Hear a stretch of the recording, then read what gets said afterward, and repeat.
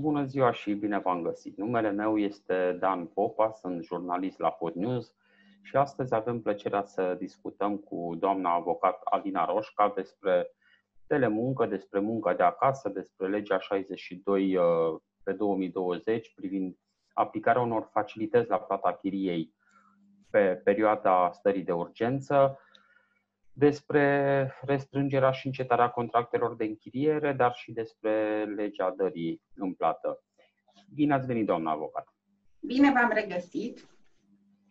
Și prima, prima întrebare uh, pe subiectele anunțate este dacă pe perioada stării de alertă, stare în care ne aflăm acum, să mai mențin prevederile privind șomajul tehnic? Da, pe perioada stării de alertă uh, s-a prelungit șomajul tehnic până la sfârșitul lunii mai. În continuare sunt uh, afaceri uh, care au un obiect de activitate care nu se poate desfășura încă cu publicul, cum ar fi sările de sport, ele își pot menține șomajul tehnic până la perioada când se vor redeschide, deoarece în momentul ăsta nu sunt deschise. La fel și restaurantele care nu dețin terasă. A, deci. Își pot păstra statutul de uh, statutul angajaților în șomaj tehnic. Da. Uh, e vorba de toate acele activități gen piscine care de, uh, rămân deocamdată închise și care pot uh, beneficia de prevederile privind uh, șomajul tehnic până la data redeschiderii acestora. Până la data redeschiderii. Dar restaurantele care au terasă și au redeschis pot beneficia pe următoarele trei luni de un ajutor din partea statului pentru angajați. Uh, li se plătește 41,5% din salariu uh, net pe economie, uh, cu specificația că nu au dreptul să concedieze acești angajați până la sfârșitul anului 2020 acest lucru poate fi aplicabil numai în cazul în care angajații respectivi au fost în situația de a fi în șomaș tehnic înainte de a primi acest ajutor. Uh-huh. Și în cazul în care o firmă care și-a trimis angajații în uh, șomaș tehnic ar dori să-i readucă, ce trebuie să facă pentru a întrerupe șomajul și a-i rechema la serviciu? Așa cum i-a băgat și în șomaș tehnic, unilateral, dar în cadrul unei decizii pe care unitatea, societatea respectivă a luat-o, așa va trebui să revenim și din șomaș tehnic, o decizie pe care societatea respectivă să o facă, în care scoate din șomaș tehnic angajații. În cazul acelor certificate Uh, COVID-19 pentru persoane juridice, se menține uh, dispoziția care le privește? Da, este o mențiune prin care aceste certificate au fost aplicabile și pentru luna aprilie, nu numai pentru luna martie, și ne mai putem în continuare folosi de ele. Mhm. Și în cazul în care firmele care au probleme și după terminarea stării de urgență Uh, beneficiază de ajutor financiar de la stat pentru a le plăti salariile angajaților rechemați înapoi la, la lucru? Cum spuneam, este acest 41,5% pe următoarele trei luni dacă angajații au fost în șomaj tehnic, cu specificația, repet, dar nu-i concedia până la sfârșitul anului. Excepția ar putea face, dar este destul de complicat, uh, cei care sunt uh, angajați sezonieri. Uh-huh. Din natura lor, au un uh, contract uh, de muncă temporar.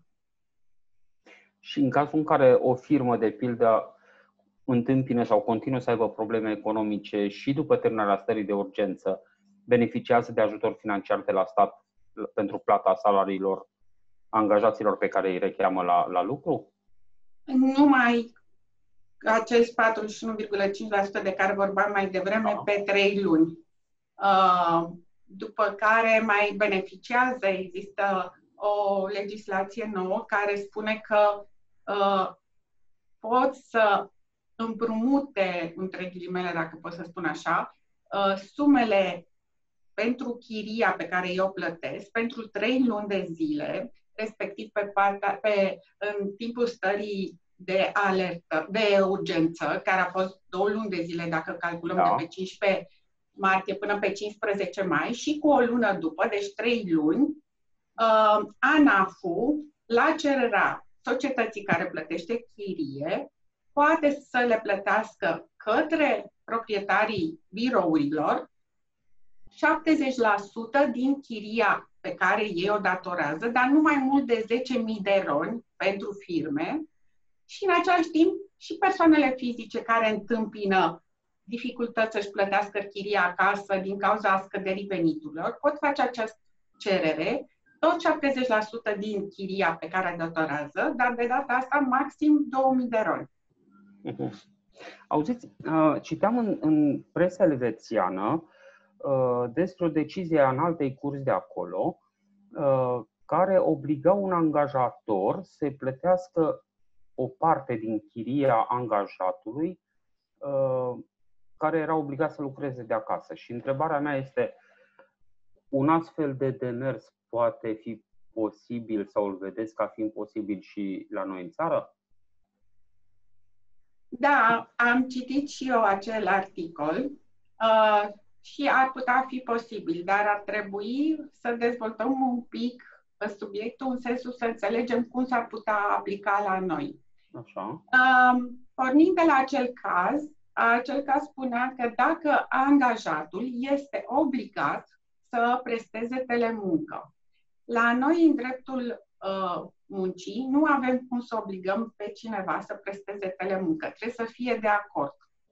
În același timp, nu poți să detașezi pe cineva, detașarea ar fi un act, să zicem, unilateral, nu poți să detașezi pe cineva acasă, poți să-l detașezi în altă parte. Deci, practic, din punctul ăsta de vedere, probabil că nu ne-am încadra în ceea ce au spus curțile, instanțele uh, elvețiene. Dar există posibilitatea să, dacă cineva se duce în instanță în România, ca instanța să fie de acord să se facă această plată. Aici se pun două probleme. Una vis-a-vis de problema taxelor, în subiect în care n-aș dori să intru prea mult, deoarece nu sunt specialistă în taxe respectiv să vedem dacă fiscul nu ar considera această plată ca o mărire de salariu sau un bonus care ar fi și el la rândul lui taxabil cu taxele salariale și atunci ar fi destul de oneros față de angajator. Asta ar fi o problemă. Și în acest caz, această sumă care s-ar plăti către chiria Uh, partea de chirie sau întreținere pe care noi mhm. o suportăm, ar trebui cumva, printr-o ordonanță, printr-o lege, să aibă același statut ca și tichetele de masă uh, și bonurile de vacanță care se dau. Deci, un alt beneficiu care să nu fie taxabil ca și cum ar fi un venit, un salariu, o mărire de salariu. Asta ar fi o dată. A doua oară, ar trebui să înțelegem ce spune legislația românească vis-a-vis de munca de acasă sau telemunca. Am auzit de multe ori uh, zilele astea uh, vehiculându-se termenul telemuncă sau munca de acasă, dar nu s-a făcut deosebirea între cele două noțiuni. Și eu vreau să vă întreb, care e diferența dintre telemuncă și munca de acasă? Da. Uh, munca de acasă este uh, un mod de muncă care, uh, în general, este reglementat între angajat și angajator de la început. Eu angajez pe cineva să presteze de la început munca de acasă. De obicei dau materia primă pe care el o prelucrează acasă uh, și poate să-și facă propriul program de muncă și trebuie să-mi aducă produsul la care el s-a angajat să-l, uh, să-l facă. Spre exemplu, uh, își dau cuiva uh, niște uh, lemne și el trebuie să confecționeze măsuțe, scaune acasă și să-mi aducă produsul finit. Hmm. Cu toate acestea, a, angajatul care lucrează de acasă, deci de lucră, ă, muncă de la domiciliu, trebuie să aibă același drepturi ca și angajatul care lucrează într-o fabrică sau într-un birou, pentru că munca la domiciliu nu poate, nu se limitează doar la munca fizică. Putem să avem și un IT care este angajat în mod special să lucreze de acasă, în propriul program. Dar eu trebuie să mă asigur că suport costurile ca acel angajat nu trebuie să plătească nimic în plus față de angajatul care lucrează de la birou sau de la fabrică. Adică eu ca angajat pot să spun, trebuie să îmi dai, uh, dacă sunt IT, uh, un computer acasă, trebuie să mm, îmi plătești internetul, pentru că dacă eram la birou îmi plătea internetul, uh, trebuie să îmi plătești uh, căști, că îmi trebuie căști ca să pot da, să și 5 litri produc. de apă, pentru că beau apă multă și la birou aveam apa de la companie și acasă trebuie să mi-o cumpăr. Uh, da, relativ. Este o discuție aici dacă, apropo, cei care prestează munca la domiciliu au dreptul la etichete uh, de masă. Nu este foarte clar, sunt interpretări diferite vis-a-vis de acest lucru. Bun, dacă ne gândim la telemuncă, telemunca este un gen de muncă pe care noi o prestăm în afara biroului. Nu trebuie neapărat să o prestăm acasă, putem să o prestăm de oriunde, de oriunde. Numai că de data aceasta avem un program prestabilit cu angajatorul, știm exact care e programul de muncă, noi trebuie să răspundem angajatorului în acel program de de muncă. Um, și cheltuielile pe care angajatorul le suportă vor fi negociate direct cu angajatorul. Adică nu mai putem să-i impunem faptul că el trebuie să ne dea un computer, trebuie să-mi dea uh, să plătească parte din uh, cablu de internet uh, sau parte din energia uh, electrică pe care o consum uh, desfășurând telemunca. Aceasta este o, o chestiune de negociere dintre cei doi. Mhm. Da, auziți, de pildă, dacă eu vreau să îmi pot deduce niște cheltuieli pe care le am, uh, cât de viabilă e soluția să îmi schimb forma de organizare pe care o am în contractul de muncă uh, din prestarea de muncă în prestări de servicii? Este viabilă. În sensul că, dacă luăm din nou exemplu uh, celor care lucrează în IT, spre exemplu, um, putem să devenim persoane fizice autorizate sau putem să ne facem propriile societăți care să aibă un contract de colaborare și nu mai avem un contract de muncă dintre angajat și angajator. Atunci eu pot să um, și să și anunț fiscul că parte din spațiul pe care eu îl dețin este afectat muncii mele, îmi fac un mic birou, uh, de exemplu, o cameră în apartament este uh, dedicat muncii mele, atunci pot să îmi deduc uh, și chiria pe care o plătesc. Dacă plătesc chirie, pot să-mi deduc și parte din electricitate și parte din uh, plata către cablu. Absolut. Numai că aici se pune problema că, um, și iarăși vorbim despre taxe, dacă sunt asimilat sau nu în continuare ca fiind angajat și nu colaborator, având în vedere că am un singur client pentru care prestez aceeași muncă, chiar dacă o prestez de acasă. Uh, deci este posibil, dar trebuie văzut cu un specialist de taxe să nu cumva să fim asimilați de către fisc ca fiind da, plătitor să reîncadreze ANAF-ul. Să reîncadreze ANAF, să mă reîncadreze ca și angajat și atunci e mult mai dificil să îmi deduc și uh, cheltuielile. Da. Doamna avocat, spuneam la începutul uh, discuției noastre că o să uh, vorbim și despre legea 62 pe 2020, cea privind uh, facilitățile la plata chiriei pe perioada stării de urgență. Uh, haideți să clarificăm mai întâi uh, cui se adresează această lege. se adresează oricărei persoane juridice sau fizice care a întâmpinat dificultăți financiare pe această perioadă. Uh, dacă la o societate este destul de ușor să demonstrăm faptul că ne-au scăzut veniturile, la o persoană fizică încă fiscul ANAF-ul respectiv nu ne-a dat încă o uh, nu a existat, adică formularul pe care ei trebuie să-l adopte în acest sens nu este adoptat, nu există acum în formă nici electronică, nici fizică, nu știu cum arată, deci nu știm încă ce cerințe vor fi pentru o persoană fizică ca să demonstreze că veniturile lui au fost diminuate. Bănuiesc, în schimb, că nu trebuie să fie atât de dificil dacă eu am fost în șomaj tehnic și să spun că am un salariu mai mare decât pe salariul mediu pe economie și am la 75% din salariul mediu pe economie, care, bineînțeles, înseamnă că salariul meu a scăzut numai cu 25%, ci cu mult mai mult decât 25%. Dar să vedem exact cum vor vedea Ade. ei. Practic, pentru persoanele fizice e inutilă deocamdată um, legea. Nu a apărut formular nici pentru persoanele uh, juridice, nici uh, online, nici fizic. Uh, așteptăm să vedem cum uh, va trebui făcut și completat acest formular. Doar ce știm este că și societatea care dorește această facilitate trebuie să depună un act adițional prin care să demonstreze chiria i-a scăzut cu 30% cel puțin și uh, contractul de închiriere uh, inițial pe care îl avea uh, și dovada că i-au scăzut veniturile.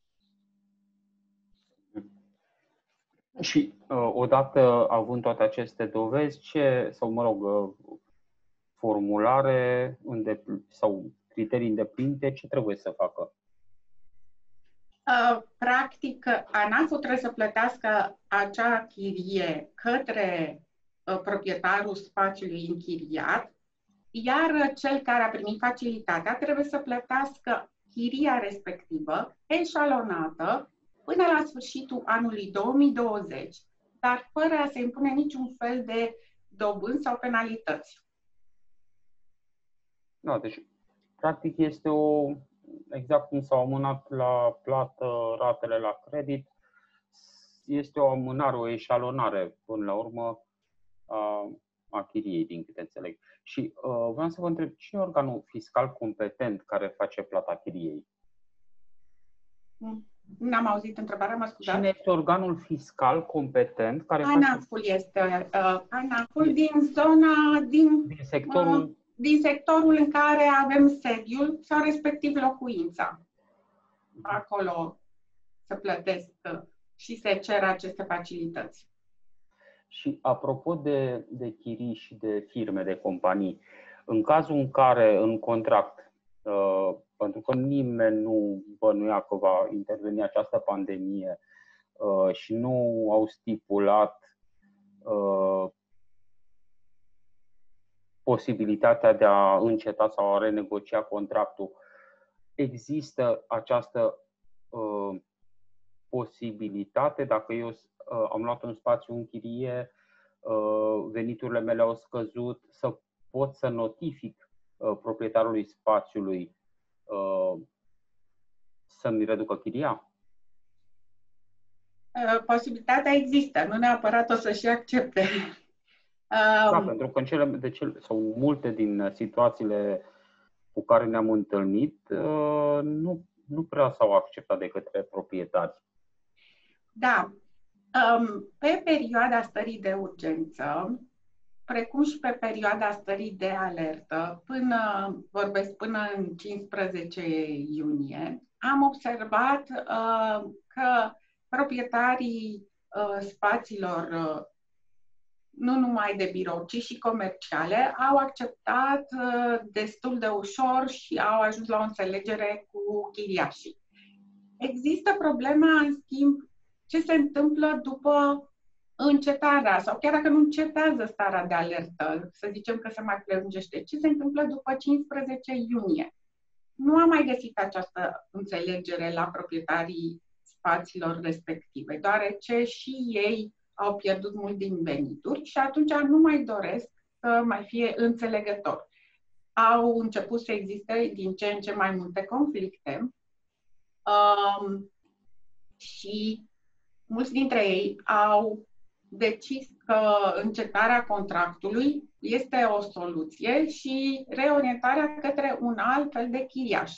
Sau alții au, dacă a fost posibil, au uh, cerut chiriașului să se restrângă în așa fel încât chiriaș să scadă proporțional cu restrângerea în spațiu care se putea și să închirieze cealaltă parte a spațiului către altcineva, în așa da, fel încât să nu piardă venit. Da, să-și recupereze banii de la alții.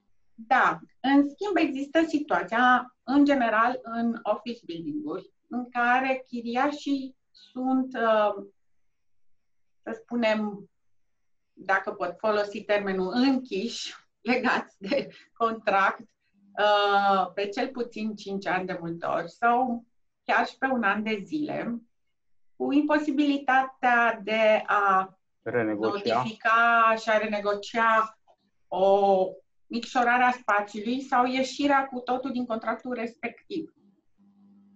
Asta este o, o situație mai dificilă, pentru că în mod normal, ca să poți să încetezi acel contract sau să restrângi um, spațiul pe care îl aveai în chirie, va trebui să găsești alte soluții de la caz la caz uh, ca să poți convinge um, proprietarul că în instanță ai avea câștig de cauză.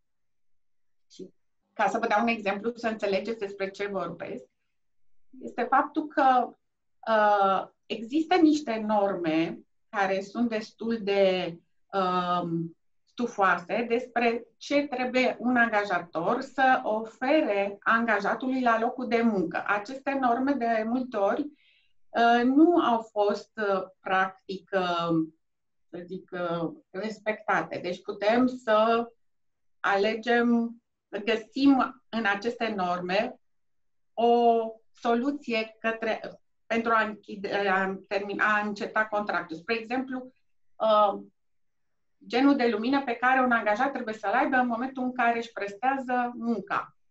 De multe ori acest lucru nu a fost respectat. Acum putem să-l aducem pe tapet și putem să avem câștig de cauză eventual în instanță. Sau uh, noile reguli de distanțare. Dacă eu, când am încheiat contractul, uh, aveam un spațiu suficient pentru, să spunem, 30 de angajați, acum acel spațiu nu mai este suficient pentru cei 30 de angajați. Am înțeles. E vorba de a specula, în ghilimele, niște clauze contractuale sau slăbiciunea vulnerabilităților unor clauze contractuale, nu? Cam așa, da. Sau ne putem face un plan de reorganizare și să demonstrăm că n-au scăzut veniturile, drept care a trebuit să concediem parte din angajați Uh, să demonstrăm că altă parte din angajați și-au uh, exprimat opțiunea de a lucra de acasă, drept care spațiul respectiv este mult prea mare pentru noi, lucru pe care noi nu știam în momentul încheierii contractul de închiriere. Ați, uh, v-ați lovit de asemenea situații în practică? Da, m-am lovit de asemenea situații în practică. Ele, până la urmă, s-au încheiat pe cale amiabilă prin încheierea contractului, restrângerea contractului sau scăderea chiriei în funcție de spațiul pe care îl deținea fiecare sau genul de afacere pe care chiriașul avea.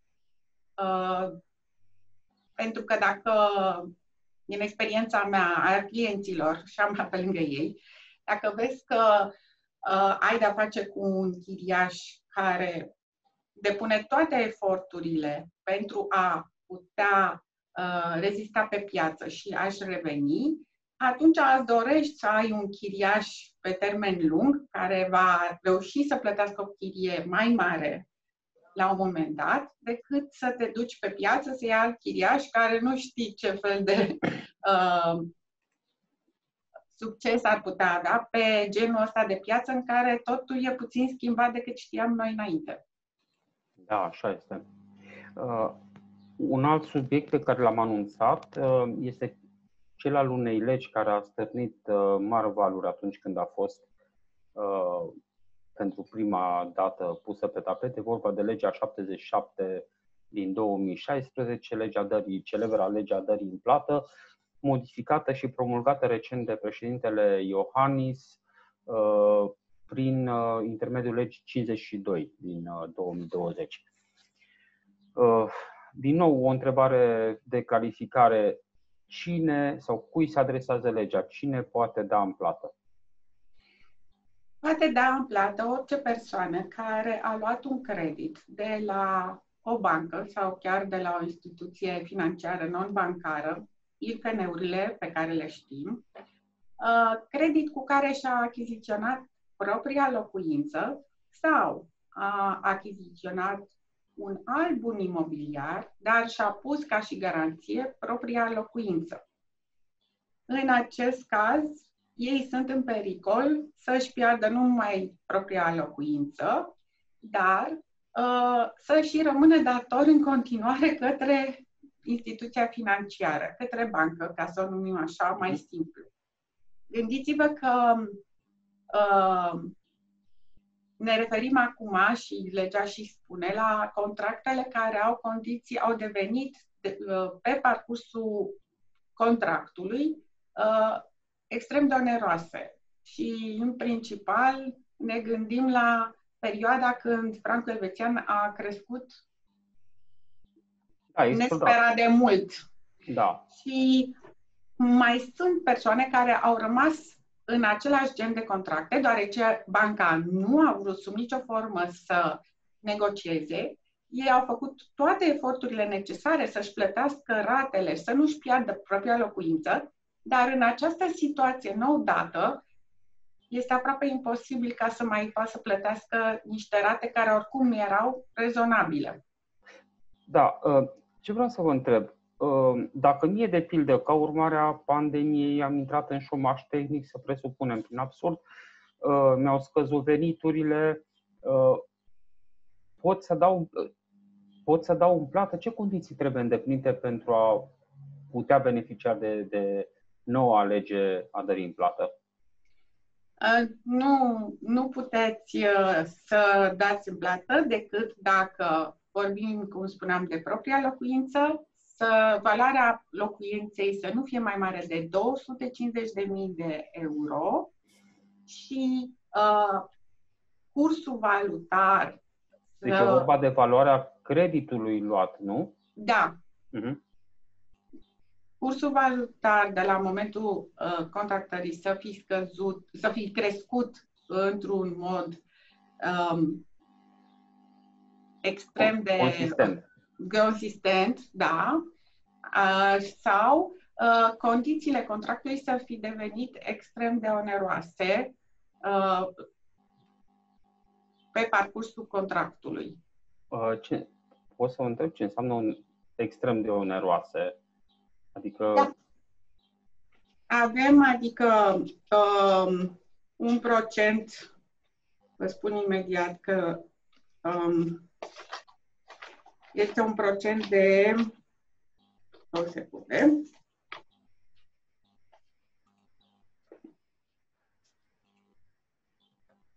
Să fi crescut cu un procent de mi se pare că era 45% uh, cursul valutar.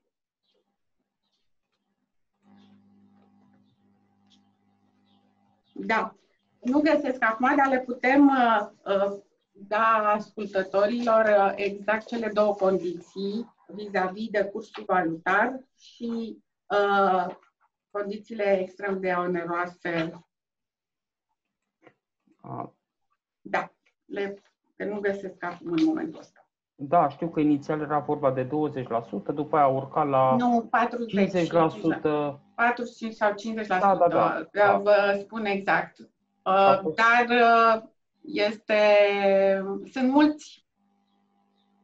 Practic, toți, practic cei cu franci elvețieni clar ar putea da toți, că a explodat francul. Cei cu franci elvețieni care sunt încă într-un număr destul de mare, dar sunt și alt gen de persoane care uh, se încadrează. Voi reveni exact cu amănuntele da. pe da. site pentru ascultători. Să presuppunem că uh, eu am luat un credit în franci elvețieni, francul mi-a explodat, vreau să dau în plată, ce trebuie să fac?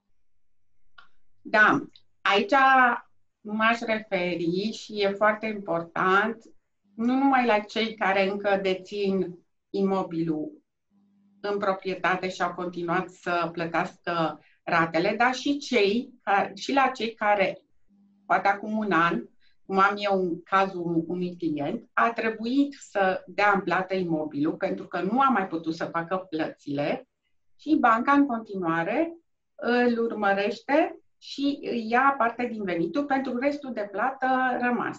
Deci, practic, pentru a impune o echitate, legis, uh, legis, uh, legea, legiuitorul uh, a adus în discuție și persoanele care deja au dat în plată uh, casa și uh-huh. au considerat ca și cum ar fi dat-o în plată acum, nu acum un an. Um, și dacă luăm aceste două cazuri, cineva care a dat în plată deja casa acum un an și cineva care dorește să o dea în plată acum, ambii trebuie să facă o notificare de minim 30 de zile, maxim 90 de zile, uh, printr-un notar, printr-un executor judecător sau printr-un avocat, prin care se invite banca la negocieri. Atenție! Această limită de 90 de zile este impusă de faptul că legiuitorul nu dorește să dea um, loc persoanelor care sunt, au rea intenție de a ține casa, de a nu-și plăti ratele, pentru că pe perioada pe care noi notificăm uh, banca că nu mai dorim să ținem casa și că invităm la negocieri, banca nu ne mai poate executa. Chiar dacă a început formalitățile, chiar dacă dorește să le înceapă, nu ne mai poate executa, practic. Da? Mhm. Deci dacă, dacă banca mi-a trimis o somație privind începerea executării silite eu pot în continuare să merg la notar, să iau uh, și să... Da, și întrerup această executare. Asta este un element foarte bun. Dacă banca te prezintă la notar, să zicem că am ales locul să fie la notar, uh, și mai am încă proprietate casa, banca poate să decidă să renegocieze creditul în așa fel încât eu să-l pot plăti și atunci eu pot să-mi păstrez casa, pentru că în mod normal eu doresc să-mi păstrez casa, nimeni nu dorește să-și dea da. casa. Sau dacă nu, banca trebuie să primească casa și sumele rămase datorate să nu mai fie plătibile. Iar cel care a trebuit să dea în plată casa deja, cum este, să spunem, cazul clientului meu, și care, după ce a dat în plată casa, casa care a fost executată s-a vândut prin licitație și el mai uh, datora la bancă 150.000 de euro, numai că ban- casa s-a vândut pentru 80.000 de euro, el este urmărit în continuare pentru restul de 70.000 de euro, deși nu mai deține casa și deși plătise ani de-a da, lungul da. ratele. Dacă și aici avem două aspecte. Dacă banca acceptă să ia în plată imobilul, atunci și să stingă datorile este nemaipomenit. Dacă nu, va contesta această notificare. Contestare care se va dura destul de puțin, uh, se judecă destul de rapid, avem fond și apel, deci doar două uh, instanțe. Uh, dacă banca deci, câștigă. Uh-huh. Dacă nu banca să... câștigă, nu are dreptul să ne ceară dobânzi sau penalități pentru perioada când nu a fost capabilă să ne execute sau să-și ia ratele, decât dacă dovedește că debitorul a început tot acest proces cu rea credință, adică cu rea credință, deși putea să-și plătească ratele, a venit și a spus bancă, eu nu mai vreau casa și uh, ia-o tu uh, în plată și până atunci cât deci, e procesul ăsta... Cine uh, decide buna sau reaua credință? Păi, în cadrul contestației, uh, debitorul trebuie să demonstreze faptul că este foarte greu să plătească sau imposibil să plătească aceste rate prin veniturile pe care el le deține. Da, am înțeles, da.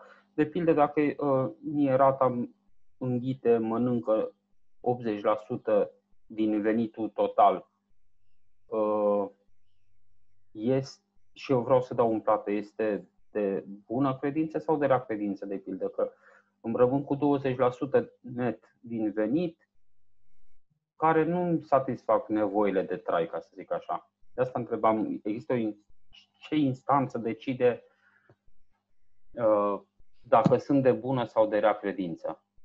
Până la un anumit punct, legea prezumă că eu am avut aceste dificultăți financiare datorită situației mm. care a intervenit, uh, uh, de exemplu, acesta, uh, creșterea cursului de schimb valutar sau situația creată cu noua pandemie în care veniturile au scăzut uh, substanțial, deci este da, un element de previziune. Da. Uh-huh. Și atunci este prezumat, ne ajută legea în acest uh, sens, ca să demonstrăm că nu am fost de rea credință.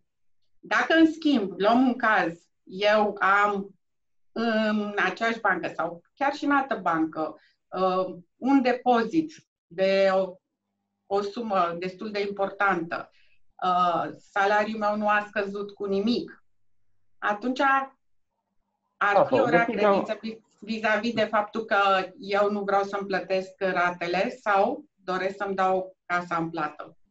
Sau dacă vreau, de pildă, să mă mut în străinătate și decid să nu mai uh, plătesc rate în țară, ia bancă cheile casei, eu plec. Nu uh, se acceptă asemenea situații? Um, nu, pentru că ar fi decizia mea personală să rămân fără servici, să nu mai am venituri am și înțeles. să mă duc în altă parte. Da. Uh, ultima întrebare m-am uh, legată de darea în plată. Uh, se aplică pentru că noi am tot vorbit de franci elvețieni, dar majoritatea creditelor date de, de băncile comerciale și de IFN-uri sunt în euro, respectiv uh, acum pe soldi, în lei și în uh, în euro. Se aplică pentru orice monedă? Se aplică pentru orice monedă atâta timp cât putem să demonstrăm creșterea respectivă sau elementul de imprevizibilitate, impreviziune. Mhm. Da. Doamna avocat, vă mulțumesc foarte mult pentru discuție și uh, vă doresc spor la muncă în cazurile pe care le aveți.